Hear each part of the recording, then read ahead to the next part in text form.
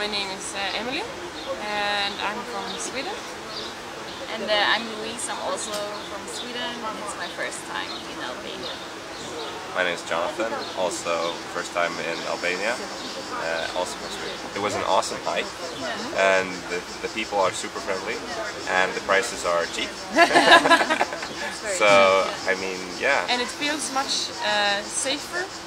Yeah. And actually I was surprised by the roads, I thought it would be um, a worse infrastructure, or what I've heard before, but the roads were quite nice. Yeah. Yeah, I heard somebody who'd been here skiing in the winter time, and then we googled it because we thought there are mountains and um, maybe we can hike here, and then we saw some articles online.